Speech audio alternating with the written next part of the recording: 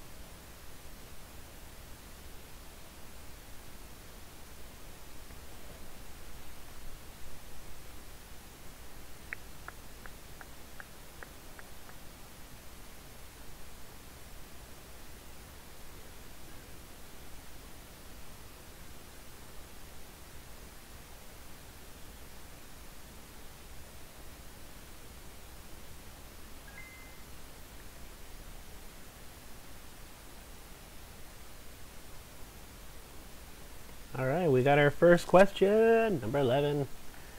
Oh man, kids are gonna get me so, so tired. All right, so let's take a look then at number 11 per Samantha's request. So on 11 we have those two semicircles, which if you think about it, this semicircle here forms a complete cylinder with the other part on the right side there. So what we're hypothetically doing is we're saying, okay, let's find the volume of one cylinder and subtract it from the volume of our prism. So just from the figure alone, we know that the distance all the way across here is 8, which means that our radius is going to be a length of 4. And then the height of the cylinder will be a height of 3.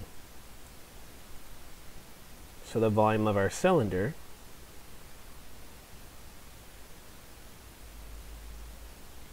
is going to be pi r squared h. So then we will substitute in 4 for the radius and the height for 3. So I believe that gives us 48 pi. Now the volume of our prism, well remember that it has a base length of 10, a base width of 8, and then of course we have our height of 3. So for the volume of your prism, you are going to have it as 10 times 8 times 3, which gives you 240. So now at this point, you're saying volume of the prism minus the volume of the cylinder. And since there's no pi in the prism, it's just going to be 240 minus 48 pi. And then of course we can't forget about our units. which I didn't give units, so that means we're still going to have to write the actual word units, or if you want abbreviated, UN. That works too. Oh wait, we're dealing with volume, so that should be cubed. So there you go.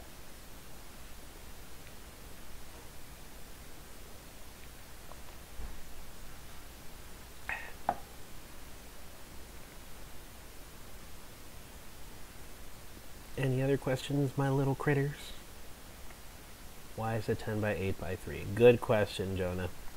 So it is a rectangular prism.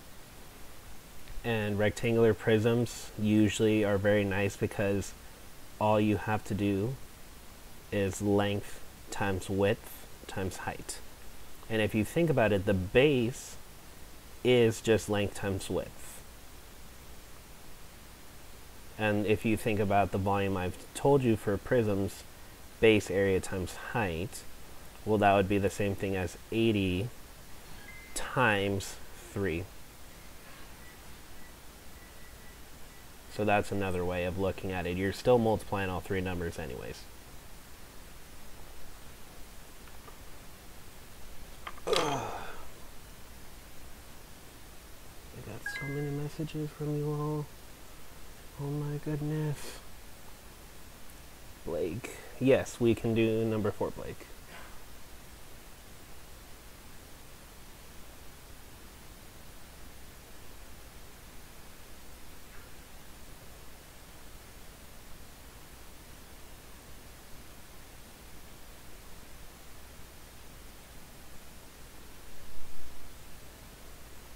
Five hundred questions and not enough time to answer all of them.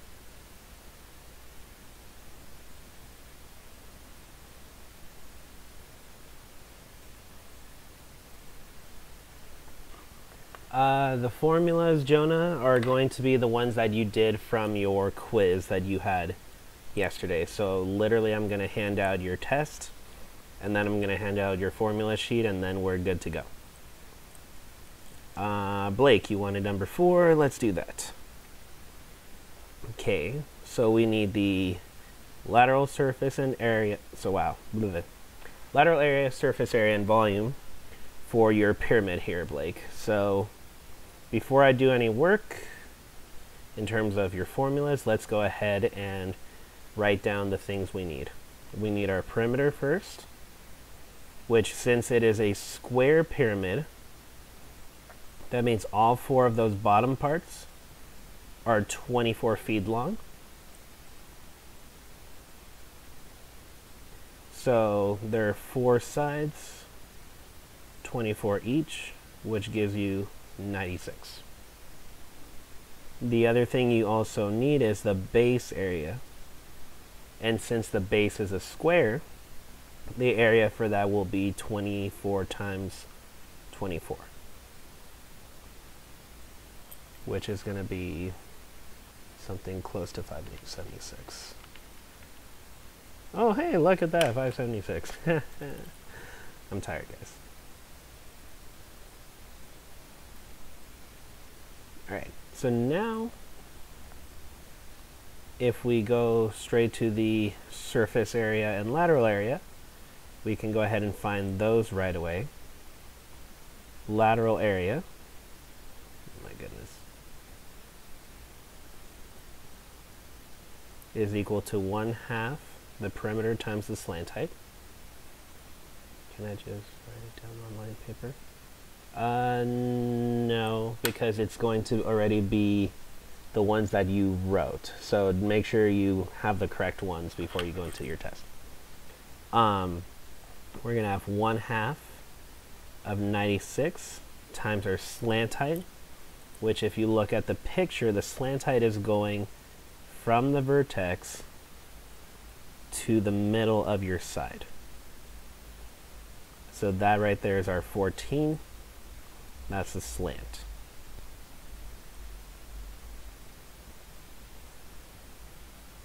So then all you do is multiply those numbers straight through.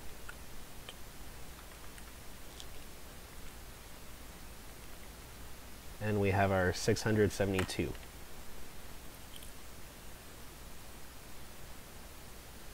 And then of course don't forget the units, feet squared.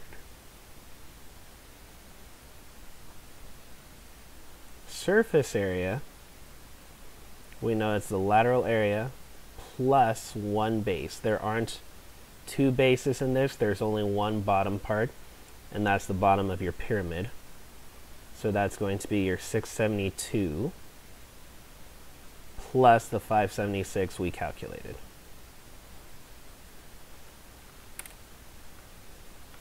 So that gives you your 1248.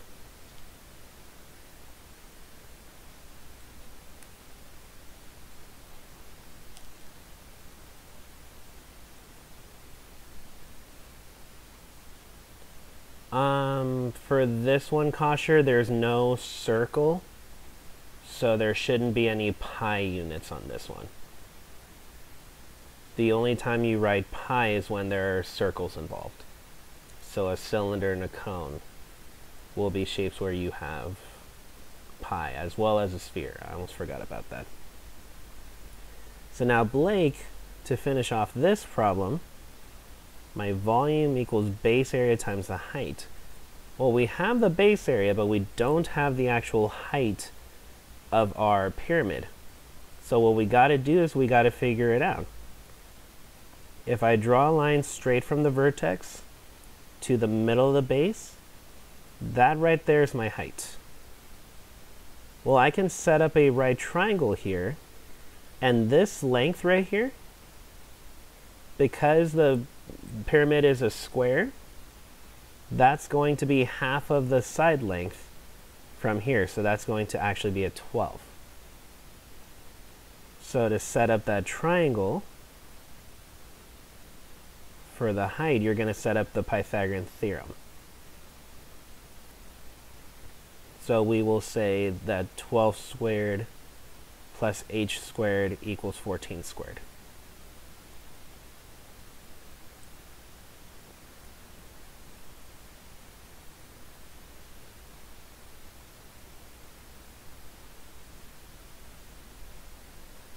I can math.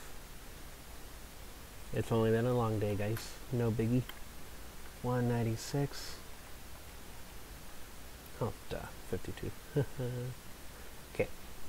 So we have our 52. When you take the square root of that,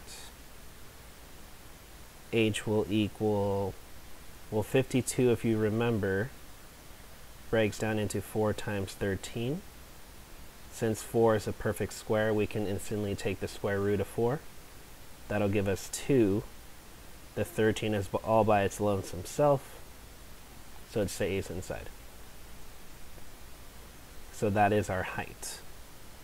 So we can go ahead and do 576 times 2 rad 13.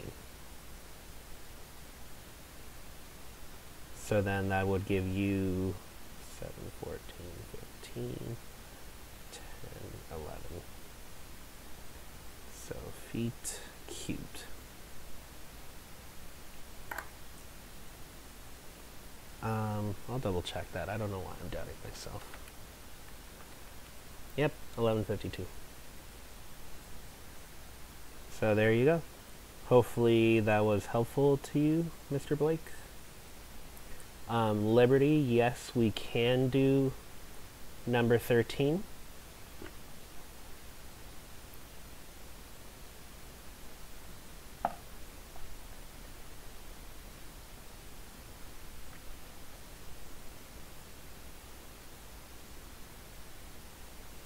2 radical 13 instead of just 13?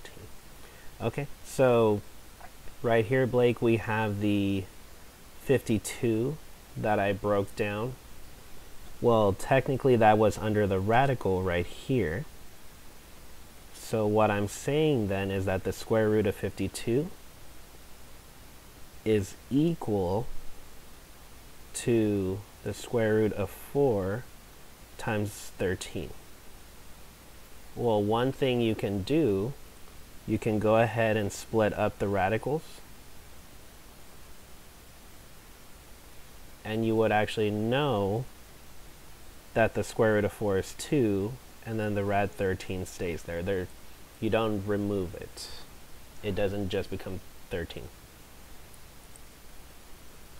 Oh, Alyssa, you're right. Yeah, see, this is why we're doing this, guys. Yeah, I forgot to take one third of that. The volume of a pyramid is one third base area times height. So watch this. I'm gonna fix all my work. Or try to, at least. Aw, yeah, it worked.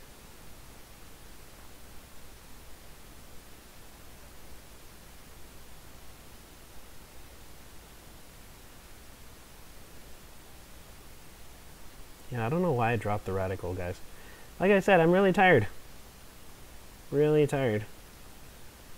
Okay, so then 1152 divided by 3. 384, yay! 384, rad 13. Hopefully that's uh, better. That looks like a B.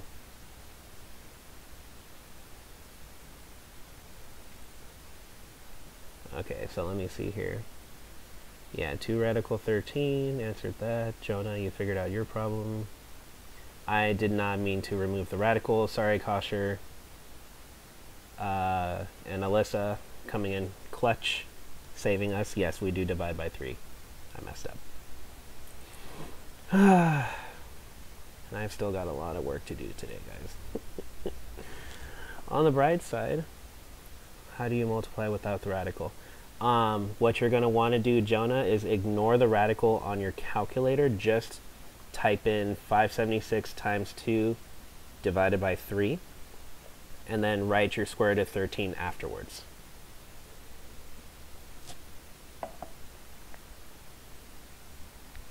Yes, Adam, we can do number 3. I'm going to try to make sure I didn't leave any loose ends on this one. Nope, we're good. We are G double O D. Okay. So yes, let's take a look at number three Adam. I'll leave that up real quick and then go. Yay! Hexagonal prism. We have not left the world of finding area of hexagons. The moment you see that, you should be thinking one half AP. Because half of you are in AP classes or something. I don't know, I'm making stuff up. So we're going to need that length here. So that apothem, if I create the right triangle for it, and I'm in class in the morning, I will be in class hopefully as early as 7.45, as long as I can get enough sleep tonight. Otherwise, I will be very groggy and annoyed hopefully not groggy. Um, so if you remember, Adam, this type of triangle here is a 30, 60, 90. And this will happen every time you do the hexagon. So the rule for going from the short leg to the long leg is you multiply the side by, by radical 3. So first things first, our perimeter. There are six sides, and each side length is 6. So that gives you 36. Yeah, we don't need the unit there. The base area, that's our 1 half AP. And we already have the perimeter for it, so we're going to say 1 half of 3 rad 3 times 36 which is going to give us our 54 rad 3. At this point, I don't think we need to do any other work, so we're just going to jump straight to it. This is a prism, so we are going to use the prism formulas. So our lateral area equals perimeter times the height. So the perimeter of 36 times the height. Now the height is not the height of the face, it's the height of your solid. Or another way of thinking of it as the distance between your two bases. There's my first base. There's my second base. How far apart are they from each other? They're 15 meters apart.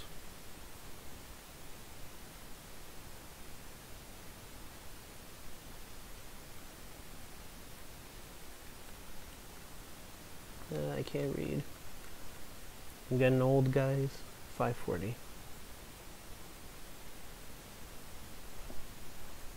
So 540 meters squared.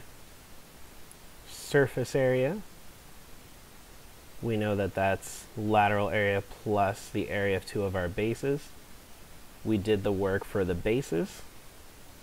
That's 54 rad 3. So that will be 540 plus 2 times 54 rad 3.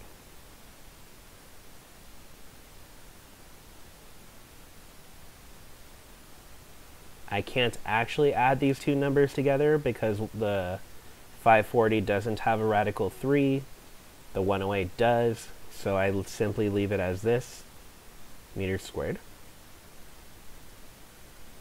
And then volume, base area times the height. It is a prism. I messed it up earlier for the pyramid, but I'm not going to again. 54 rad 3 times the height of the prism, which is 15.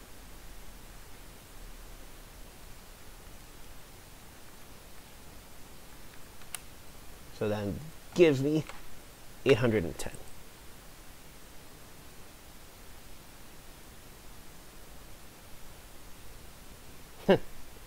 Alyssa doesn't need help on number two anymore, guys. She's a genius. All right. So there's the work.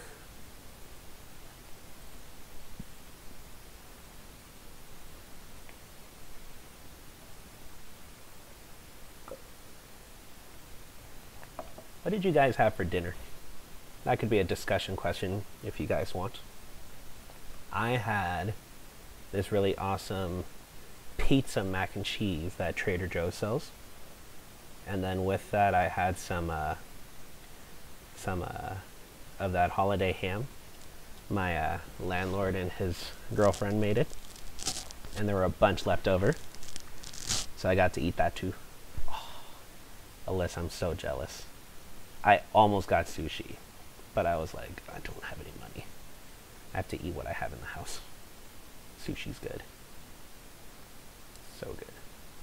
Any other questions, my little critters? I'm wondering, did I answer? So, oh, Liberty! Oh my gosh, she's gonna hate me. We forgot to do number 13, guys. We gotta go back and do 13. Ah, ooh, chili dogs are good. Also, you spelled chili wrong, Jonah. Come on, man yeah, let's go ahead and do 13, y'all, because I forgot that's what Liberty asked for. Oh, you made them yourself? What kind of cheese? Oh no, you didn't even say chili cheese dogs. Peanut butter jelly. Ain't nothing wrong with a good peanut butter jelly. Ain't nothing wrong with that. Um, Adam, I will do number 10 after I do 13 because I failed Liberty at that. So first off, our volume of a sphere formula.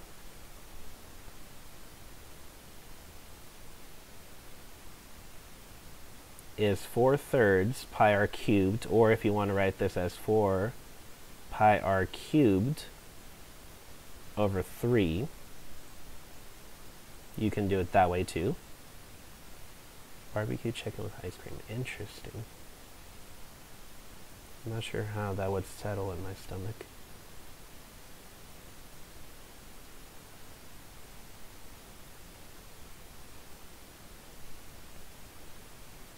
Ooh, cheddar cheese. So he, you did make chili cheese dogs. That's awesome. All right, back to the math. So we're going to go ahead and get r cubed by itself by dividing both sides by 4 pi.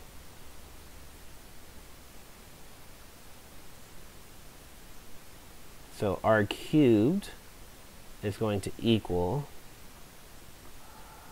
what is that, 4, 8, 12? I think that's 343, because math, you know. So r cubed equals 343. So when you take the cube root, r is going to equal 7. But we're not done there yet, and I need to fix that on the key. Will questions on the test be like 14 through 16? Yes, there will literally be three questions almost exactly as 14, 15, and 16. Uh, let's see here. Uh, yes, so now we have to plug it back into surface area. So the surface area, if you all recall, 4 pi r squared. Oh, Jonah, they're not that bad. They're fine, I promise you. Those are easy points if you follow the directions.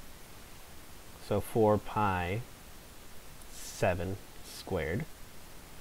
So 49 times 4, 196 pi. And then, of course, it's surface area for that feet squared. Can I do 14, 15, and 16? Yes, I can. And before we do those, I'm going to refresh you all on the things we need and talk about our levels. I like to think of them as levels, like little tiers. So, Liberty, I apologize if I failed you. Did this help you out with number 13? Buffering. There shouldn't be any buffering. Everything's working on my end. Everything here is running smooth. Yay, Liberty's not mad at me anymore. Yeah, Matthew, I don't think anything's buffering. How about Jonah? I do all three of them just for you. I will do that. So right off to the side real quick, I'm going to go ahead and talk about the things you need to know for 14, 15, and 16. So first off, you all have to remember that you need to be able to distinguish the difference between a similarity ratio, an area ratio, and let's write out the word, and a volume ratio. You have to know what all three of them are. If I give you one ratio, you have to be able to find the other. Ugh. I'm going to chill back a bit. So you have to be able to know how to find any one of them. So remember that similarity ratio is your base level. That's always going to be A to B. Your area ratio, if you think about your units for area, your area is always something like feet squared or meters squared, whatever it is. So therefore, your area ratio is going to be A squared B squared. So that means if I want to find my similarity ratio and I'm given the area ratio, I need to take the square root. So I would need to take the square root of whatever numbers I have. Now, if I'm given a volume ratio, that would be something like a cubed b cubed. Well, how am I going to remember that? It's the same reasoning as we had for the area. Your volume is written as cubed units or cubed feet or cubed meters, whatever it is. So because it's cubed, your volume ratio is also going to be cubed. Well, by that same measure, if I want to find my similarity ratio, what I need to do is take the cube root of those numbers. But remember that before you can do that, you should always simplify your ratio to its smallest uh, form, and then the numbers will work out nicely. I'm not going to give you something that's going to have decimals. It's going to always work out nice for you. So let's go ahead and actually do this. I've given you the similarity ratio. So that means that 5 is A, and B is 7. Can I give you an example of one of these? If you're talking about the ratios, yes, I'm about to do them right now, if that's what you're asking, Kosher. So it says here, find the ratio of their surface area. So that key phrase is area.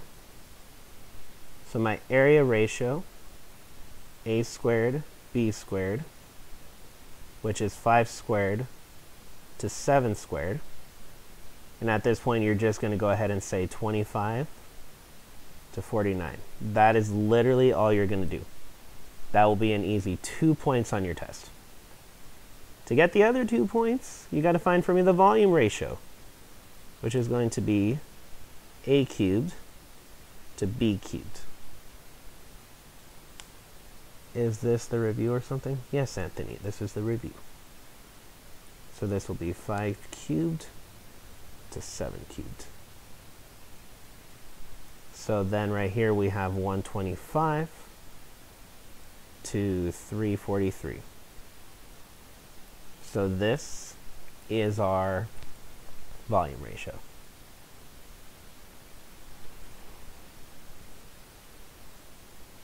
A golf match. Oh, shut up, Matthew.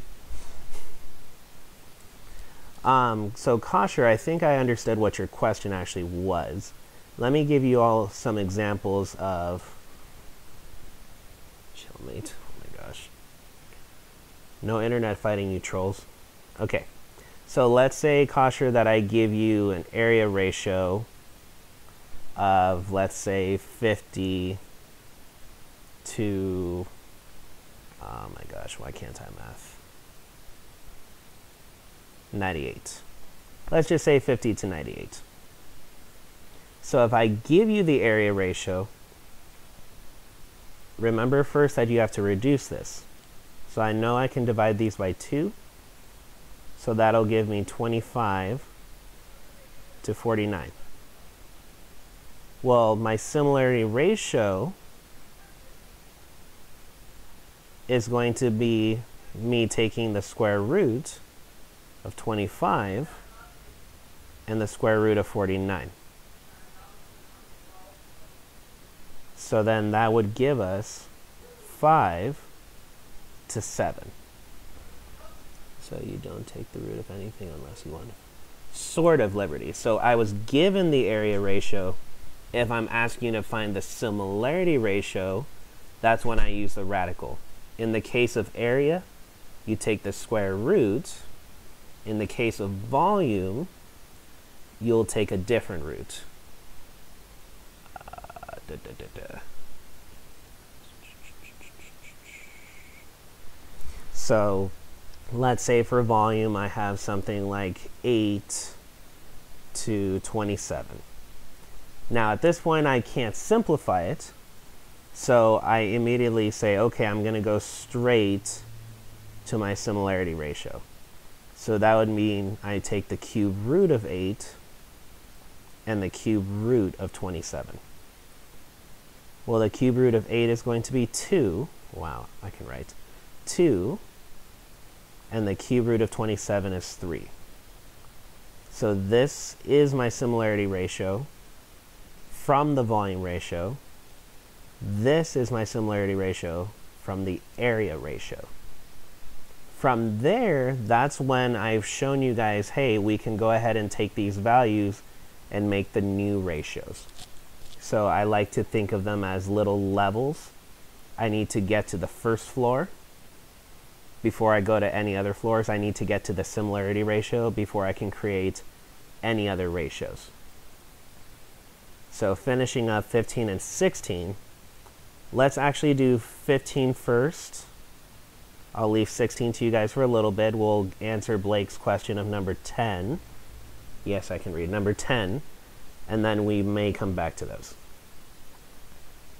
So right now I've given you volume of 64 to 1000.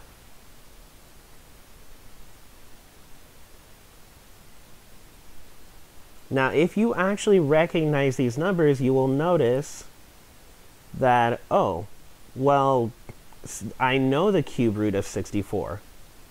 My similarity ratio for volume, I'm going to take the cube root. And for both of these, you are going to get 4 and 10. But also notice that the 4 and 10 does reduce. It can reduce further to 2 to 5. If you choose to reduce the numbers first and then take their cube roots, it'll work out either ways. It's not going to break anything. It'll work out fine. So that's my similarity ratio. That's all step one. Step two for this problem we need to relate the surface area next. So surface area means, oh, take your similarity ratio and find the area ratio. Well, that's going to be 2 squared to 5 squared.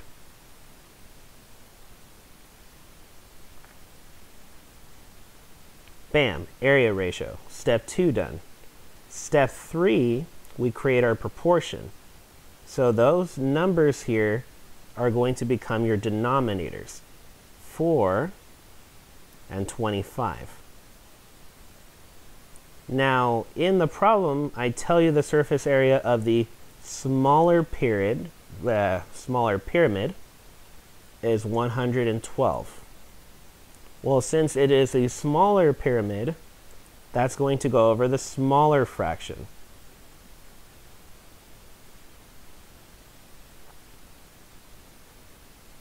So that's going to be your 112. We don't know the larger one because we're trying to solve for it. So we're going to call that x. And from here, you're just going to cross multiply and solve.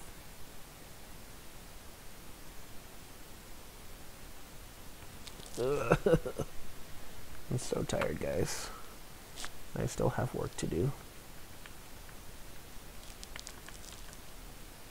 2800. Divide those sides by 4.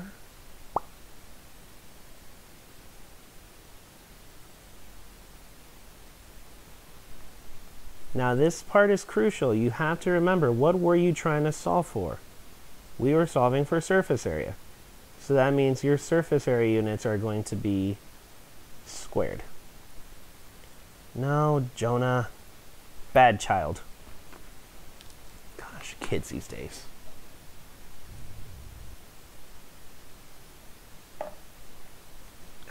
Okay.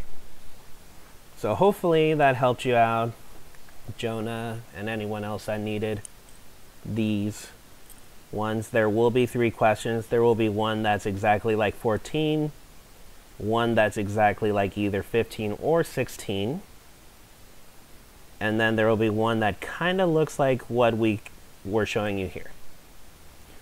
No, I don't need caffeine. No, because it's already too late. And yeah. Alright.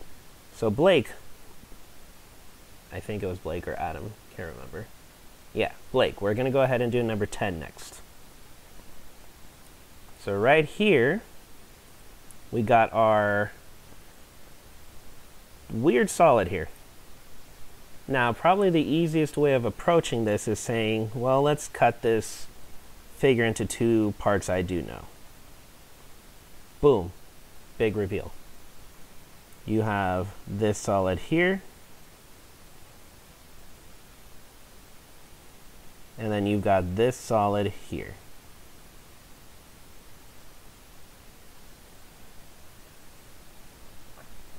Now, one thing to note is that this, can I do seven while you're gone? Sure. But you got to make sure you come back and let me know when you're back, Jonah. Don't go off and play Fortnite. Um, Blake, this 15 here corresponds with this length of 15 over here as well.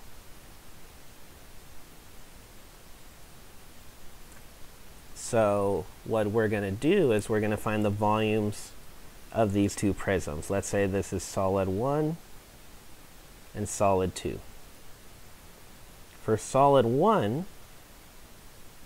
the volume for that, if we want to go with base area times height, we have to first figure out the length of the bottom side of the yellow part, this part here. Well, this 4 up here corresponds with this length of 4.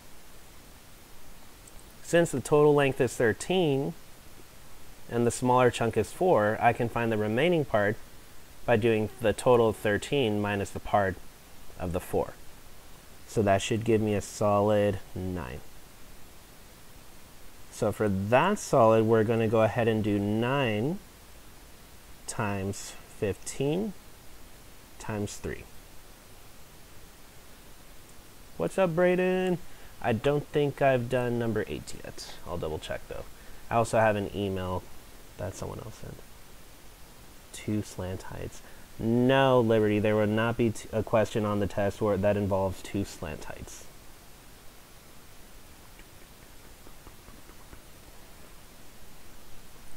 I'll try to multitask while we're doing this. Solid 2 is going to be 4 times 15 times 10.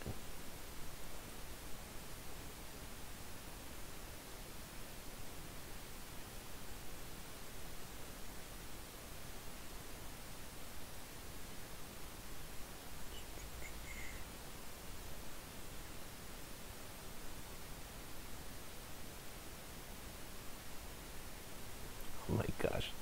Kosher, everyone needs help with geometry. No, I came up with a different bonus question. It's going to be a beautiful one. At least, I think so. Um, so back to the calculations, because I can't math right now. The first solid gives you 405. The second solid gives you 600. So then when you add those two,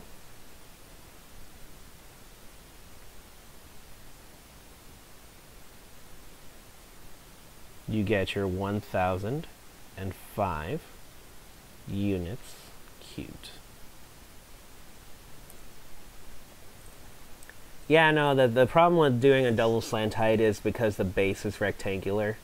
So that would be torching you guys and yes, it is extra credit, but I want to give you something that you can at least somewhat know how to do.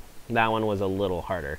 I think only like five people overall might have gotten those questions, so, you know, might not exactly have been fair. I reassessed my teaching styles. He claims it's easy. However, it is not as easy as you say it is. oh, don't worry, Liberty. Okay, so Jonah wants us to do seven while he's gone. Well, he's going to be gone, so I don't want to help him. Braden wanted to do number eight. I believe I'm going to make sure I can find it.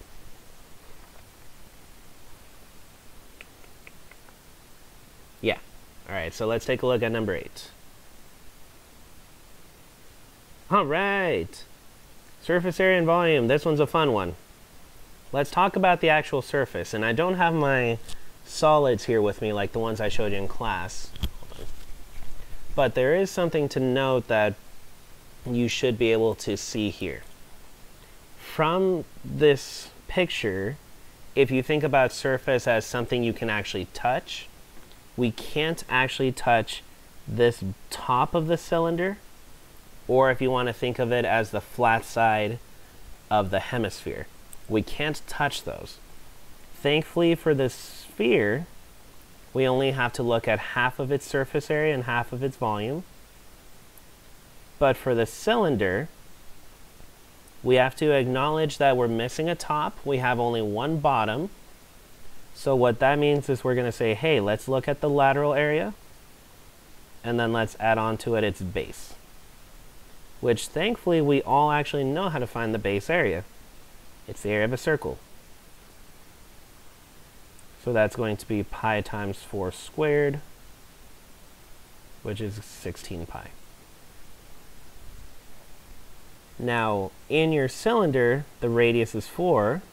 I can transfer that radius up to here. So then that means the radius for my sphere is also 4.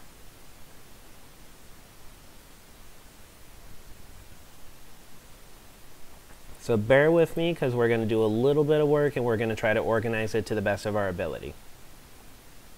So if I go ahead and say for my sphere, let's look at its surface area, which is 4 pi r squared. Uh,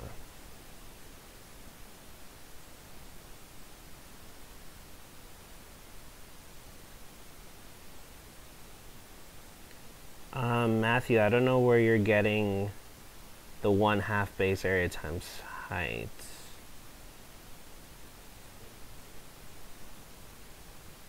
Yeah, I don't know where you're getting the 1 half, dude. There's no 1 half for this. This is a cylinder and a sphere. For the sphere, you just have your 4 pi r squared. So that's 4 pi 4 squared. So 16 times 4.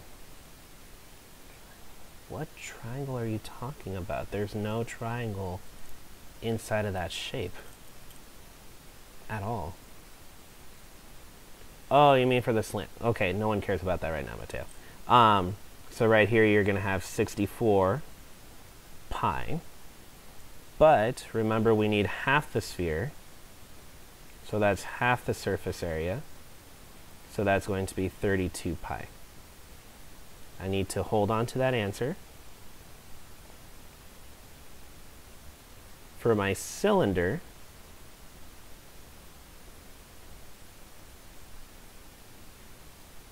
for my cylinder, we have the lateral area, which is 2 pi RH.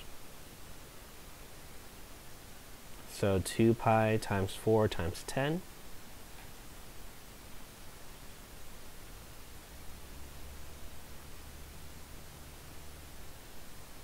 So that'll give us 80 pi.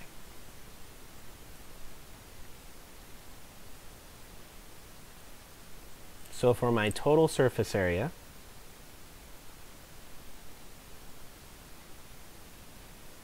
that's going to be our 32 pi plus 80 pi plus the area of our base, which is 16 pi.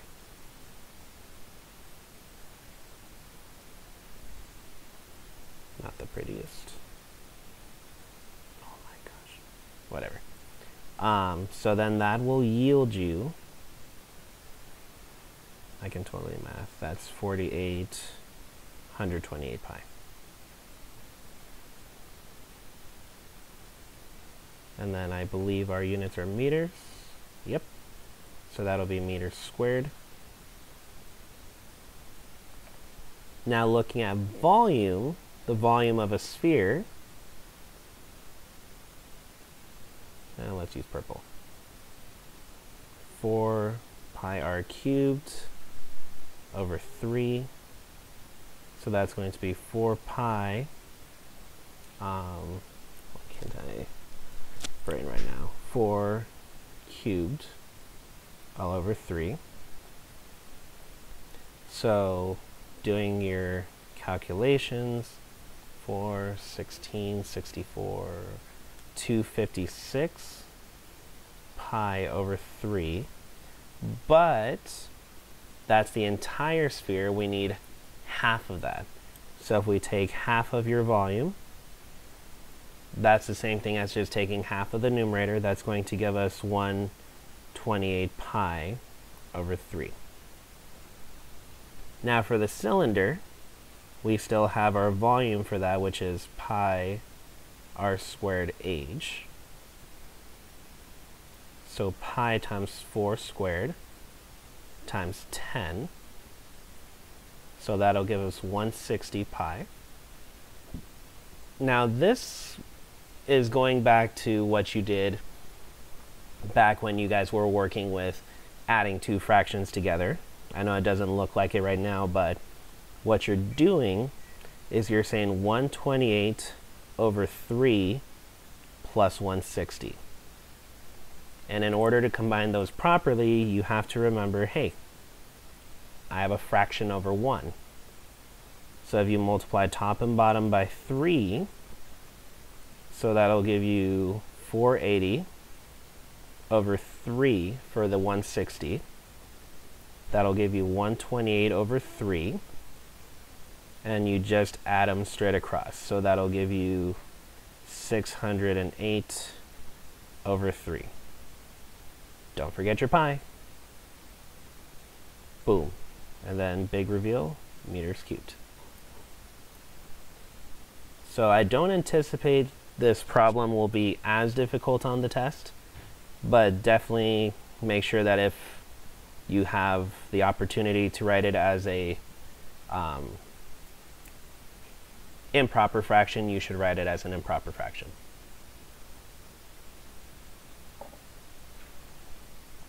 I believe I do give you a question like this. Literally, your test is almost exactly like this, almost verbatim for question. There's just like maybe two questions that are slightly different, but other than that, everything's pretty straightforward.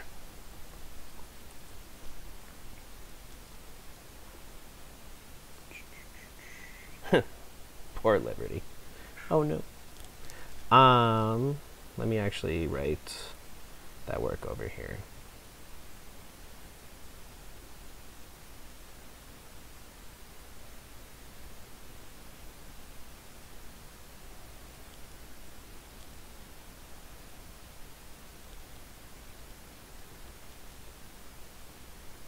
Also, by the way, I want to give a shout out to my boy Braden for making the banner art on my channel. He's my boy. Um, Blake, we will have a total of 15 questions. The last three will look almost exactly like the last three questions on your review. And there will be a bonus question. So a total of 16 questions, but only 15 graded questions.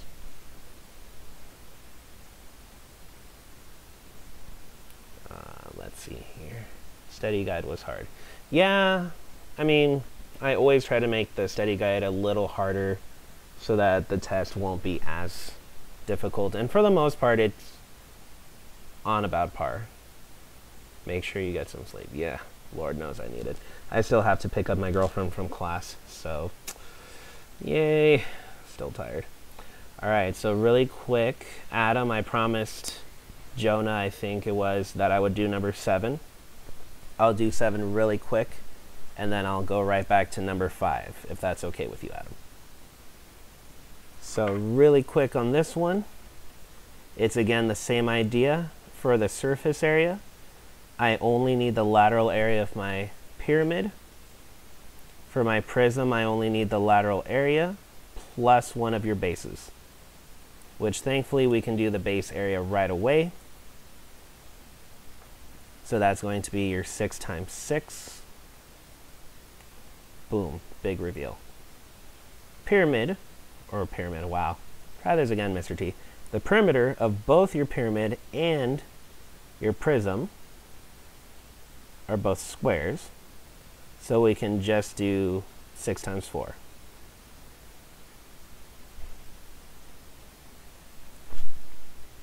So let's jump right to it. Let's go ahead and do that lateral area of our pyramid. Oh wait, no, I can't do it yet. We need our we need our slant height. I don't have it yet. So let's see here. I can draw that, which if I remember, that length of six gets cut in half to three. There's my slant height here. Ooh, I think if memory serves me correct, we have a Pythagorean triple. Sorry, Matthew. So 3 squared plus 4 squared equals slant squared. Hopefully you guys remember that it's 5. Uh, sorry. If you don't remember that, that's okay. 9 plus 16, 25 equals the slant. So then the slant is 5. So let's get right to it. Lateral area equals 1 half perimeter times the slant height.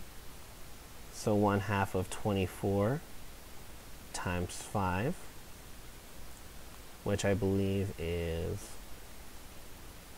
48, methinks.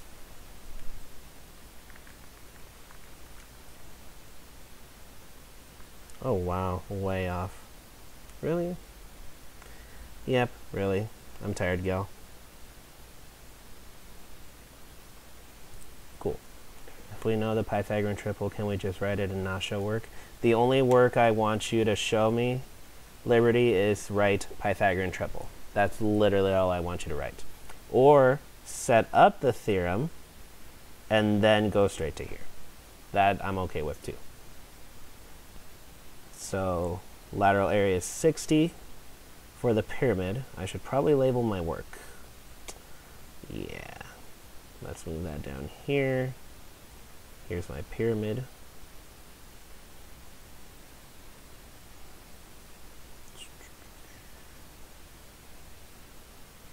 And then we have our prism. And for this lateral area, that's just the perimeter times the height. So 24 times 6. So, gosh, that's 144. And then, of course, our total surface area is going to be our 60 plus 144 plus the area of our one base, which we said was 36.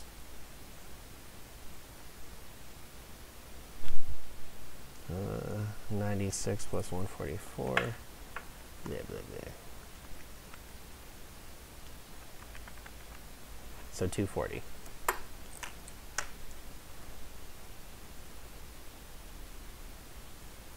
Units squared. Now the volume of these are much easier. I already gave you the height of the pyramid. So that's going to be your one third base area times the height. So one third of 36 times 4. Now just to clarify, remember the height of your pyramid is always the distance from the vertex straight up to the middle of the base. So that's 48. Our volume of our prism, base area times height. So that's 36 times 6. Yeah. So that's 216.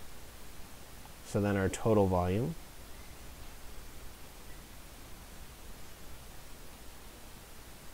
is going to be 48 plus 216.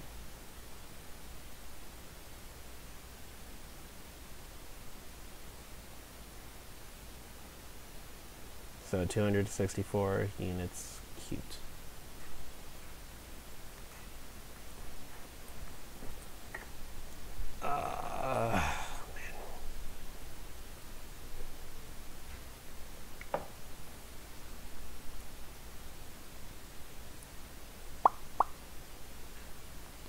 So I think what I'll do is I'll answer number five, Adam. And then I might answer one or two more questions and then I gotta get going. Because I don't want my girlfriend to hate me for leaving her behind at class. But oh well, she'll be fine. Okay, so Adam, your base in this picture, though it might be a little hard to see, is this triangle here. So for the triangle, you want to remember, okay, to find the area of a triangle, I'm going to do 1 half base times height. Well, the bottom here is 6. missing Riverdale. Have fun, Mateo. Um, so right here is my height, which I didn't give it to you, but notice that this is an isosceles triangle. So the isosceles triangle allows you to say, hey, I can create the altitude, which is my height, and that'll split each of these into two equal parts. So they are both 3 and 3. So then, again, just like what Liberty was saying, if you recognize the triple, you can go ahead and just write it.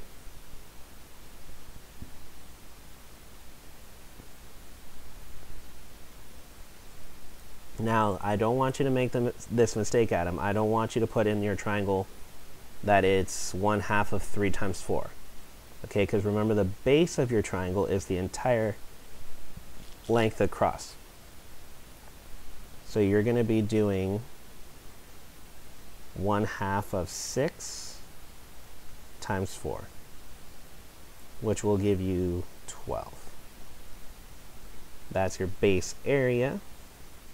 The only other thing we need, because I gave you all the other information, is that the per, uh, perimeter is 5 plus 5 plus 6, which is 16. So for lateral area, that's going to be your 1 half perimeter times the slant height, which is 1 half of 16 times 9.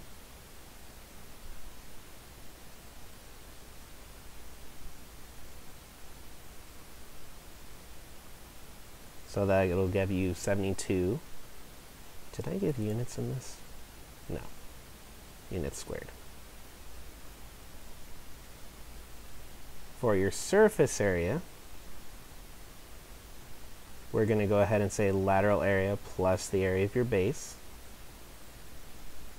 So that'll be 72 plus what we found in our base over here, which is a 12. So that'll give us 84. Volume will be nice and easy for us because that's one third the base area times the height. So one third of 12 times 8.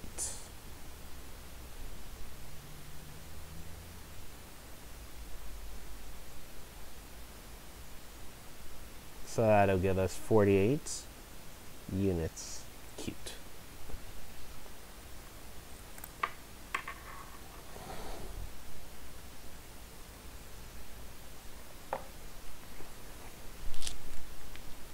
So hopefully Adam that helped out.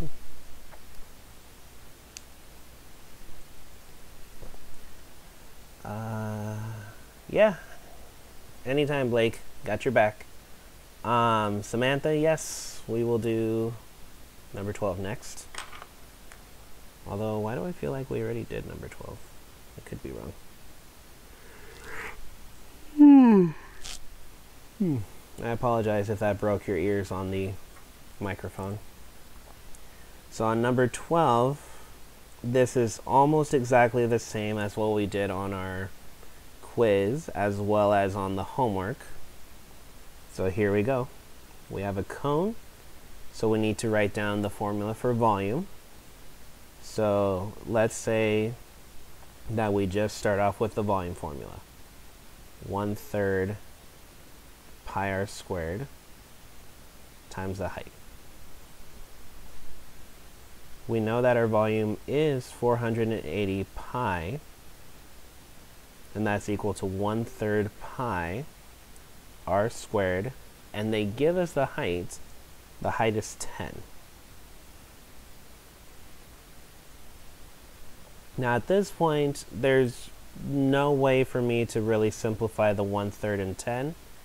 So what I'm going to do instead is I'm going to go ahead and multiply both sides by 3 because then that'll get rid of my 1 third and it'll clean up the equation nicely. I can move the 10 in front. So that'll give me, oh my gosh, I can math. Uh, 0, 4, uh, 1,440 pi equal to 10 pi r squared. From here, we can divide out on both sides the 10 pi. And so the pi's cancel out here and here. The 10s cancel out here, which allow me to eliminate those zeros here. So 144 is equal to r squared. Back to algebra land, take that square root of both sides. So r is going to equal 12. Find the length of the radius. Boom. T r is 12 centimeters.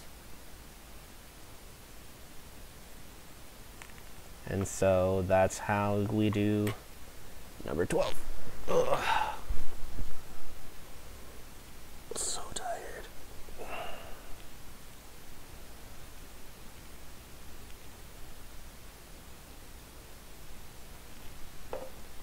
I could only imagine that a lot of you will be bugging me during finals week, which I don't mind, but ugh, I'm gonna be so tired. You're welcome, Sam. I've got time for maybe two more questions, y'all. If any of you guys have any more. Got my friends asking me if I'm still alive. Gotta at least let them know I'm somewhat. I'm a zombie. During finals, maybe. I mean, we do have minimum days on those days, so I could potentially do them earlier in the day. You never know.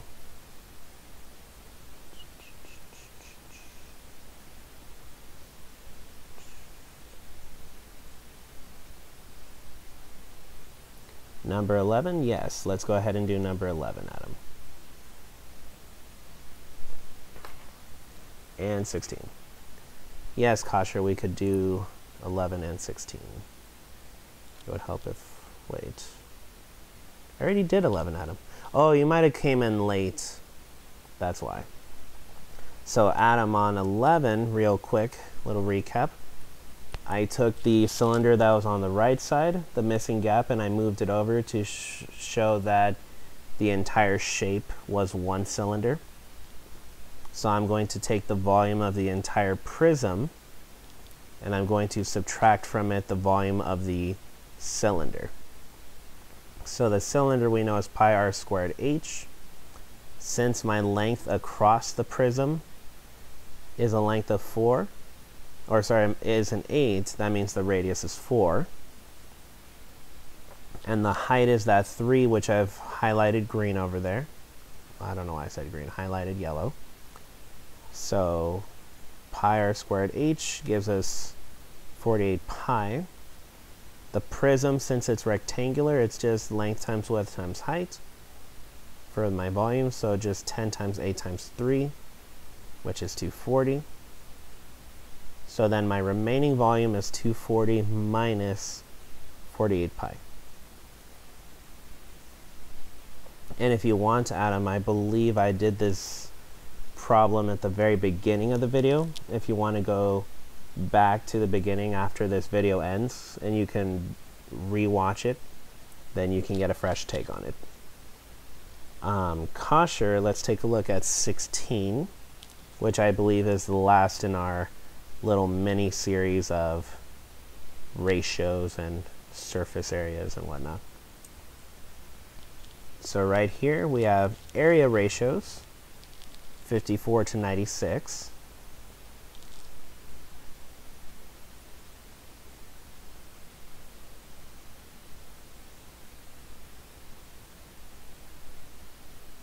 Now before I go too much further, and try to take any square roots here, I'm going to want to reduce this. So the 54 and 96 are both even, so I can divide them by 2, which will give me 27, and I can totally math 48. But now, at this point, I'm thinking, oh no, I, I can't divide it any further. Well, 3 can also go into those. So let's divide them both by 3. And so what that'll give us now is that'll actually give us 9 to 16. So 9 and 16 are perfect squares. And again, I'm looking with areas. So that means my similarity ratio is going to be the square root of 9 to the square root of 16 and that's going to give me 3 to 4. Now I'm trying to compare the volumes now. Volume of the larger cylinder is 512. Um, no, you will not get marked down if you don't simplify all the way. But I will tell you this much, Liberty, if you don't simplify your 27 and 48, and you try to take the square root, you are going to get a decimal, so that's not going to help you. Uh, back to the thing, if we have the volume we're trying to compare, we're going to need the volume ratio. So volume, if you recall, is a cubed. I don't know why I put that there. a cubed to b cubed. So that means you're going to do 3 cubed to 4 cubed. So that's 27 to 64. You'll be fine, Liberty, I promise. Just simplify it all the way. Um, so then what we're going to do, Kosher, is we're going to take these numbers here and we're going to write them as the denominators of our fraction. So from the fraction here, we know that we need our numerator. Well, the larger cylinder is 512. That's going to go over the large fraction.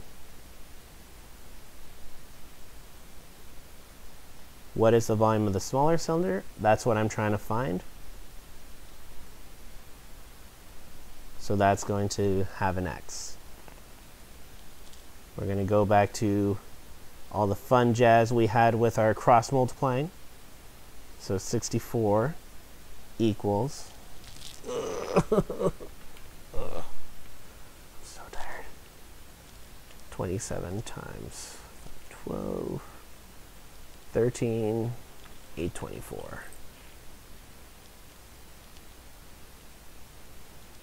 I should probably write 64x. That'd be good.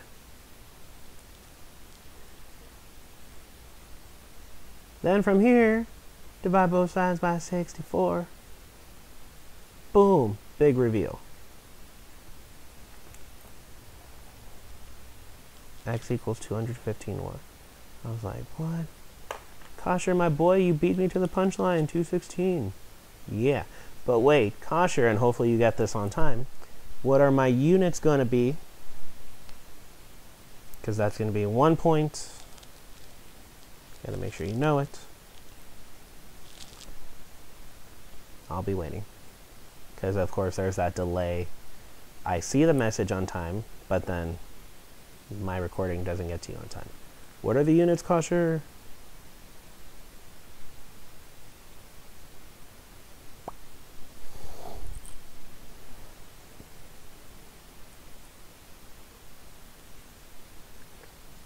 cubed. Yeah!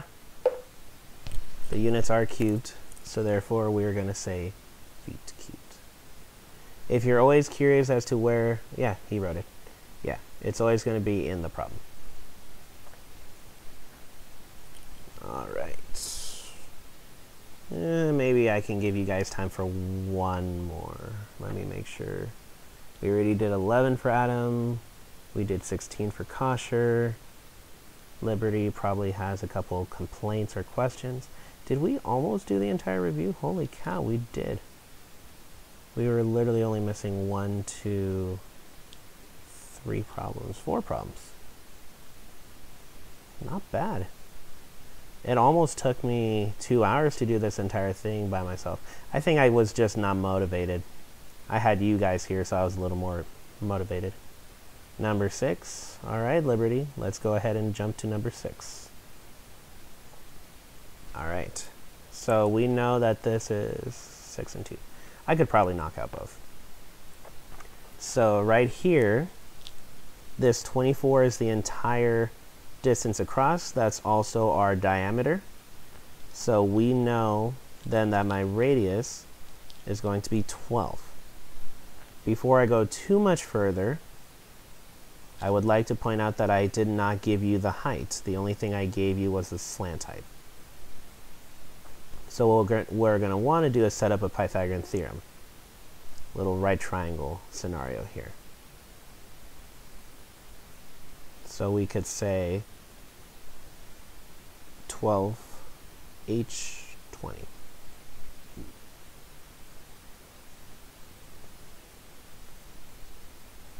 Now this is also a Pythagorean triple, but if you don't recognize it right away, don't even worry.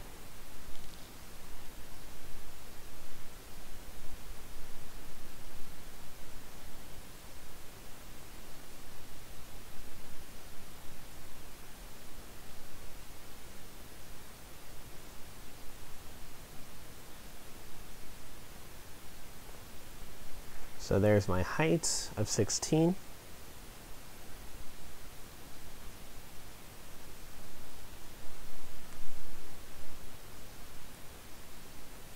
So I think I have everything I need to go. Lateral area, pi r slant height. So pi times 12 times 20, 240 pi. I didn't write any units, so units squared. In my surface area, we're saying lateral area plus pi r squared. So that's going to be 240 pi plus pi times 12 squared.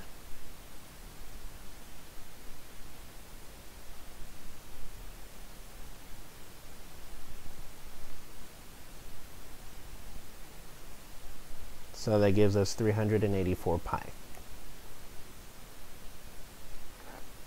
volume is one third pi r squared h. Yeah, I'll leave that there for y'all. So one third pi 12 squared times 16. Uh, let's see here. That is the same thing as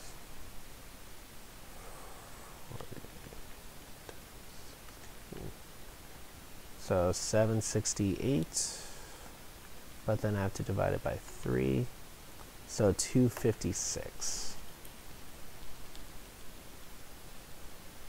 256 pi units cubed.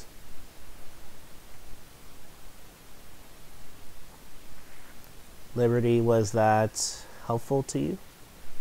Hopefully it was.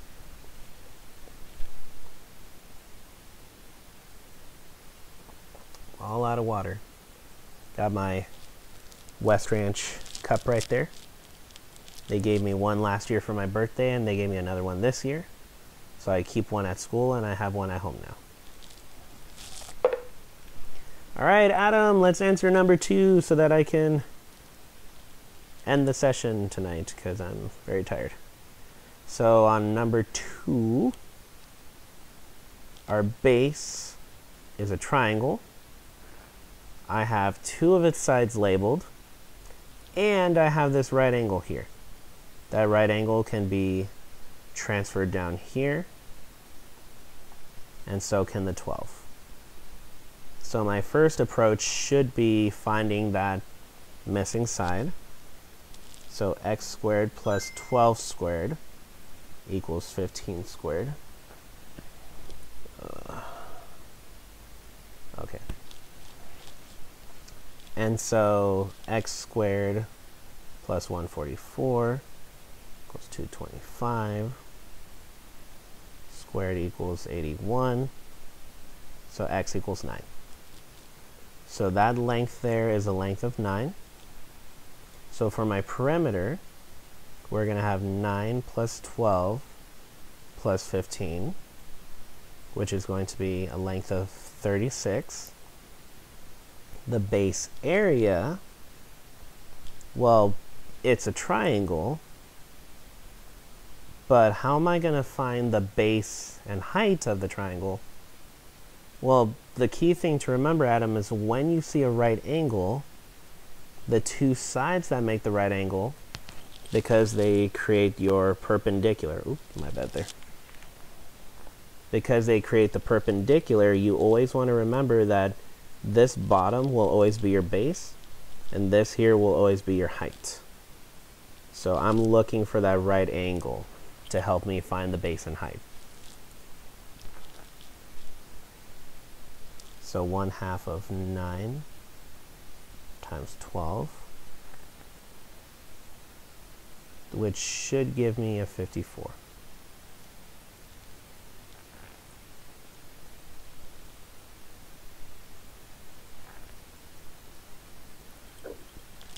Sorry, my screen is acting weird. There we go. So we have base area, we have perimeter. I think we have everything. So my lateral area, since this is a prism, perimeter times the height, so that's going to be 36 times the height of our solid, which is 14.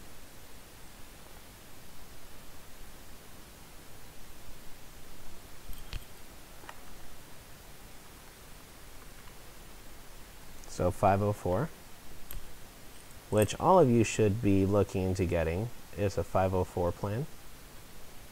Or am I thinking of a 401k? 401k, that's what I was thinking. Lateral area, surface area. There we go. Lateral area plus two base areas. Got to add those up. So 504 plus 2 times our 54.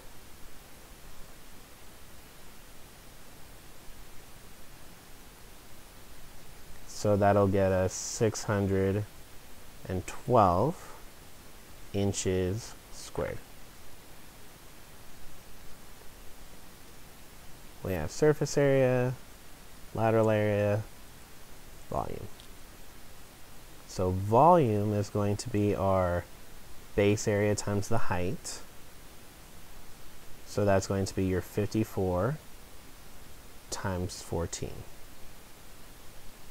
which I believe this one came out to a four-digit answer. No, it was close though. 756.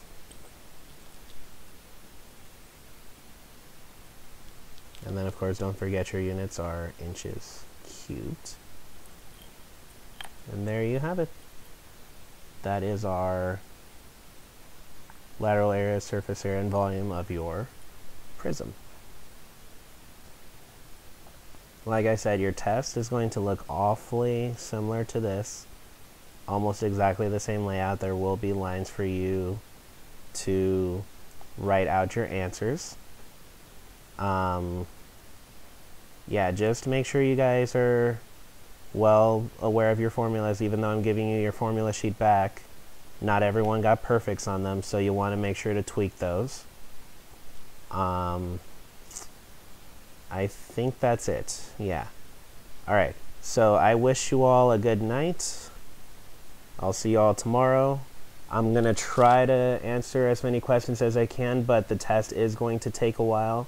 So I think I might answer one or two questions and then we'll just go straight to the test.